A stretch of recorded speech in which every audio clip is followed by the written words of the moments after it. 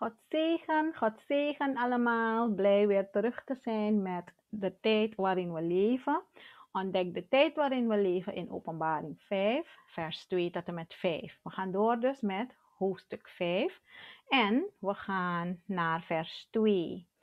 In vers 2 staat: En ik zag een sterke engel die met luider stem uitriep: Wie is waardig de boekrol te openen en haar zegels te verbreken?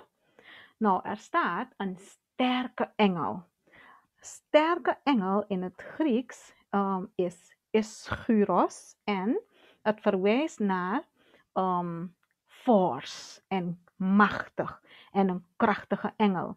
Een heel, uh, hoe heet dat? Um, gespierde, dus, dus wat we, we kennen als een bodybuilder, zo gespierd. Uh, goed gevormd en heel um, uh, vol kracht, een engel die eigenlijk een machtige autoriteit in Gods koninkrijk heeft. En dat is dus het woordje, het Grieks woordje aschuros. Een uh, voor sterke engel. Um, daarnaar verwijst het. En deze soort van engel is dezelfde klasse van engelen in, die genoemd worden in Openbaring 10, vers, vers 1 ook in Openbaring 18, vers 21. In feite zijn er 26 van zulke um, engelen uh, genoemd in de Bijbel die eigenlijk niet geïdentificeerd zijn. Want uh, ze hebben de namen toch niet gegeven. Ik kan me herinneren dat uh, het is heel lang geleden, meer dan 30 jaar geleden, dat mijn man een droom kreeg, mijn echtgenoot kreeg een droom. En in die droom uh, zag hij dus dat mensen op hem afkwamen met stenen om hem te stenigen. En hij, hij kon nergens anders schuilen. Dus hij keek naar zijn auto en hij dacht, als die mensen dichtbij komen, dan gaat hij onder die auto schuilen.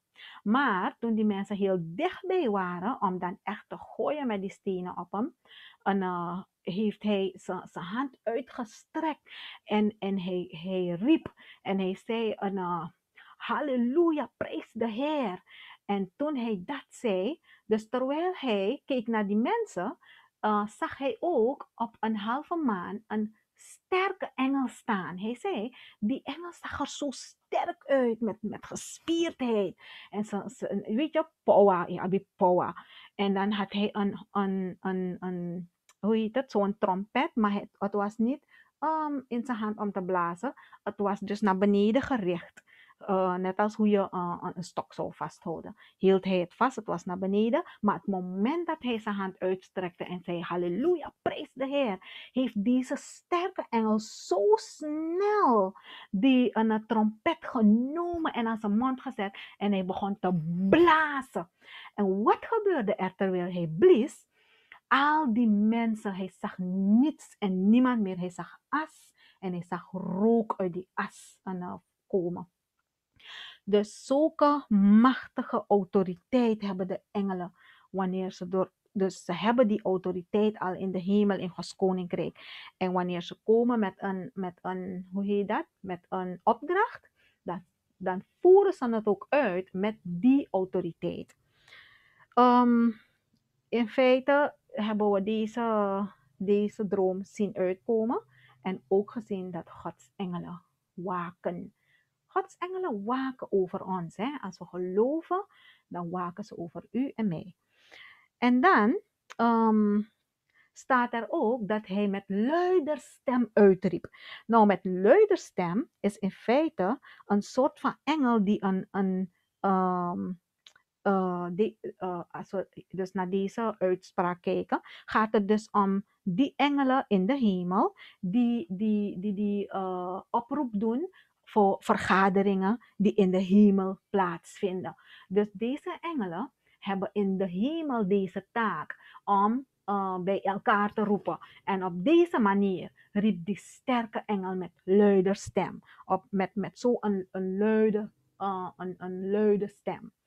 En dan vraagt hij een, stelt hij een vraag. Hij vraagt, wie is waardig de boekrol te openen en haar zegels te verbreken? En in Jesaja was er ook een, een vraag gesteld in een soortgelijke een, visitatie. Dat kunt u lezen in Jesaja 6, vers 8. Het is goed als we het even samen lezen. Hier staat, daarop hoorde ik de stem des Heren, die zeide, wie zal ik zenden en wie zal voor ons uitgaan? En ik zeide, hier ben ik, zend mij. Dus een soortgelijke vraag, of een vraag, zo werd een vraag gesteld met een krachtige stem. Um, dan gaan we nu naar de, uh, het volgende vers, vers 3. Er staat in vers 3, en niemand in de hemel, nog op de aarde, nog onder de aarde kon de boekrol openen of haar inzien. Deze tekst spreekt voor zichzelf. Er is geen uitleg hier nodig. In feite was ik heel verrast toen ik deze tekst las, want voordat ik deze tekst bewust heb gelezen als een gelovige, ik ben wel op mijn dertiende tot bekering gekomen. En, um, ik las de Bijbel. Ik heb openbaringen nooit veel gelezen. Maar toen ik het bewust las, was ik heel verrast. Waarom? Omdat ik een gebed van de Heer had gehad uh, dat ik altijd bad wanneer ik in strijd was. En dat gebed was dat Heere, u bent de, de Heere der Heren. U bent de koning der koningen. U bent de God der goden. En u heeft alle macht in de hemel en op aarde en onder de aarde. En niemand is als u. Weet u, dit gebed bad ik met zoveel kracht altijd. En het verrast me, of het heeft me verrast, toen ik het zo las, zeg wauw, dit gebed komt echt van de Heilige Geest. Want ik had het niet bewust gelezen. Misschien had ik het eerder gelezen, en, um, maar ik kon me niet herinneren. Het was een verrassing. En je ziet het, God is, uh, God is de God van de hemel. En hij is God op aarde en onder de aarde. En er is niemand in de hemel, nog op de aarde, nog onder de aarde, die de boekrol kon openen of haar inzien. Maar en, uh, wat gebeurde er dan verder met de apostel Johannes? De apostel Johannes in vers 4 zegt hij, en ik weende zeer, omdat niemand waardig was gebleken de boekrol te openen of die in te zien. Ik weende zeer. Nou, wenen in het Grieks is klagio. En het verwijst naar huilen, maar wenen, dus echt um, snikken. Snikkend, uh, in snikken uitbarsten, luid en luid huilen. En dat je een intense, diep, diep uh, verdriet hebt en dat zo uit.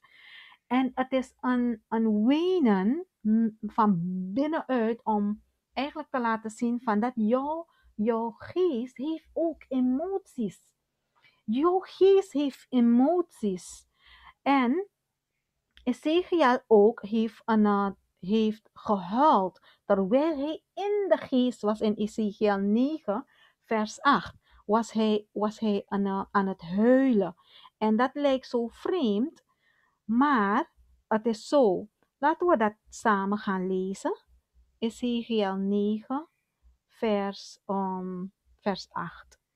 Gaan we dat even snel opzoeken, want ik had me niet daarop voorbereid. Ja, ik heb het al. Daar staat, vers 8. Um, toen zij nu bezig waren met neer te slaan, ik was achtergebleven, wierp ik mij op mijn aangezicht, schreeuwde het uit en zeide, ach heren, heren, Gaat gij nu heel het overblijfsel van Israël verdelgen door uw grimmigheid uit te gieten over Israël? Dat staat in Ezekiel 9, vers 8. Dat, en, en hij was dus in de geest, hij was, zijn geest was aan het, aan het uitschreeuwen voor het aangezicht des Heren.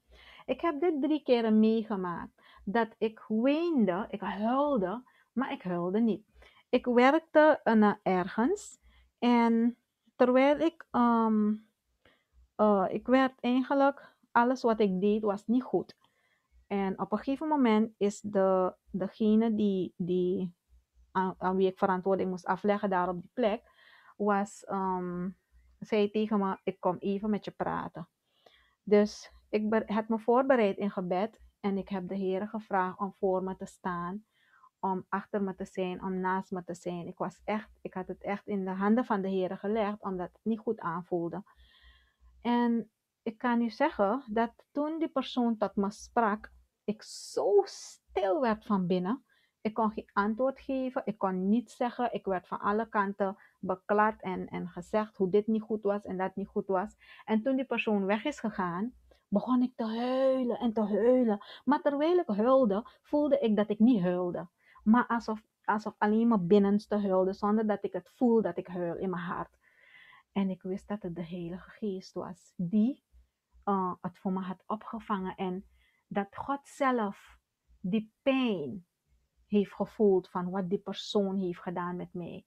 Maar het voor me heeft opgevangen. En dit heb ik drie keren meegemaakt in mijn leven. Ik kan u zeggen dat wanneer de Heer het voor je opvangt, dat je het zo erg vindt dat God zulke, zulke slagen van ons opvangt.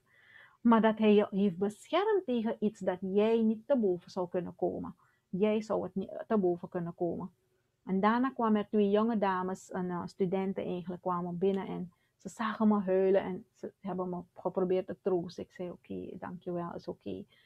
Maar um, om te zien dat wanneer we schuilen bij de Heer, dat Hij ons werkelijk um, omringt met zijn glorie en als een schild om ons heen is. En, en uh, zo was het ook met Johannes toen hij weende. Hij weende zeer, hij weende vanuit zijn geest. En dan zegt een, um, zegt een van de oudsten in vers 5 tot hem. En een van de oudsten zeide tot mij: Ween niet, ween niet. Zie, de leeuw uit de stam van Juda, uit de stam Juda, de wortel Davids, heeft overwonnen om de boekrol en haar zeven zegels te openen. Oh, halleluja. Wat een geweldig nieuws voor de apostel Johannes en voor ons. Dat er werkelijk iemand is die, die um, uh, die, die, die het waard is, die waardig is en die het kan, die het mag openen. Dus um, als we kijken naar het symbool van de, van de stam van Juda, dat is de leeuw. En het is een, een, een stam voor, om te strijden, om ten strijde te trekken. Een leeuw en het is een, een, een strijdende stam dus. Dit kunnen we terugvinden in Genesis 49, vers 10. Um, dat deze stam daarvoor bestemd was. En voorts is de stam Juda de stam, uh, de, de stam van koning David. En David zelf, koning David zelf, was ook een strijder. En hij heeft ook over zijn vijanden, um, hij heeft zijn vijanden overwonnen. Hij heeft niet gewoon gestreden en heeft niet gewonnen. Hij heeft ook overwonnen. En dan zie je dat een, een leeuw, als we kijken naar de leeuw uit de stam van Jude, een leeuw op zich is een, een dier dat helemaal niet bang is. En, uh, hij kijkt heel scherp uit zijn ogen, hij loert en hij gaat op zijn doel af. Soms zijn beesten groter dan leeuwen, hè? maar toch durven ze om te gaan. En soms verliezen ze, maar ze zijn um, zonder vrees. En, en um, ze worden ook genoemd de koning van de jungle. Toch? Kent u die, die tekenfilm of die, die animatie? En, uh, The Lion King. Uh, als u naar die uh, animatie kijkt, dan ziet u ook hoe een leeuw zich gedraagt. Nou, de Heer Jezus heeft zonder vrees de Satan verslagen en overwonnen. Leest u maar in 1 Johannes 3, vers 8, in Psalm 3, vers 7. 1, 2 van de vele versen waar de Heer Jezus zonder vrees Satan heeft overwonnen. Alleen de Heer Jezus is waardig gevonden om de, de rol, de boekrol te openen met haar zeven ziegels. Amen. Is dat niet geweldig? De Heer is machtig. En waarom is Hij waardig bevonden? Omdat Hij heilig is. En er, er huist geen enkel kwaad in Hem. Heilig. Hij heeft zichzelf tot zonde gemaakt voor ons. Er was geen zonde in Hem. Maar om ons is Hij tot zonde gemaakt. Want als u leest in de Bijbel, dan leest u dat wie aan het kruis hangt is vervloekt. Ja, maar hij was zonder zonde. En in 2 Korintiërs 5, vers 21 kunt u teruglezen dat hij gewillig zichzelf tot zonde heeft gemaakt voor ons. Hij was, hij was de enige die zijn leven heeft willen afleggen voor ons. En de Heer Jezus was, een, um, was, was, was bereid om zichzelf te geven. Wat in geen mensengedachte is opgekomen. Wat we niet zouden kunnen bedenken, heeft hij gedaan. In Filippus 2, vers 6 tot 8 kunnen we dat lezen. De Heer is goed. Daarom is Hij het die de wortel van David is uit de stam Juda en heeft overwonnen en Hij alleen kan de boekrol en haar zeven zegels openen. Nou, let op dat, um, uh, dat deze rol om die zeven zegels te openen, dat er een verschil is um, tijdens het tijdens het ik zeg het opnieuw. Dus we moeten even kijken naar het verschil van de rol openmaken, de zeven zegels losmaken, dus open te breken. En tijdens het waarnemen van wat er gebeurt. Openen van de rol is het proces van de rol openrollen. Want wij hebben boeken en die boeken maken we open bij bladzijden. Maar vroeger hadden ze rollen, boekrollen. En die rol werd dan geopend. Het werd opengerold om te lezen uh, naar onderen. En de bovenkant werd dichtgerold. En dan wordt de onderkant verder opengerold en de bovenkant verder dichtgerold om te lezen. Nou, um, om, de zeven, om de zegels los te maken, um, is de complete autoriteit om alle zeven zegels achter elkaar open te maken. Dus uh, los te maken. Dat ze achtereenvolgens worden losgemaakt. Dus één voor één. Dat een, uh, moeten we goed voor ogen houden. Um, het, is, het is in de betekenis van dat de Heer Jezus de enige waardige is die die overwinning heeft gehad en heeft overwonnen. En dat hij het op deze manier doet. Um, ik hoop dat het duidelijk is. Mocht het niet duidelijk zijn, dan mag u, uh, uh, als u mijn nummer heeft, kunt u een app sturen. Als, uh, als u in de comments vragen stellen of per e-mail mag ook. Want dit stukje is um, dat je het goed door moet hebben ten aanzien van de zeven zegels en het openen van de boekrol van, met de zeven zegels. Hoe dat gebeurt en um, waarom het gebeurt en waarom door de Heer Jezus alleen. Ja, um, daar hebben we het gehad voor vers 5. Uh, ehm, deze video gaat tot en met vers 5. Ik wens u Gods rijkste zegen toe. En tot de volgende video waar we doorgaan met hoofdstuk 5.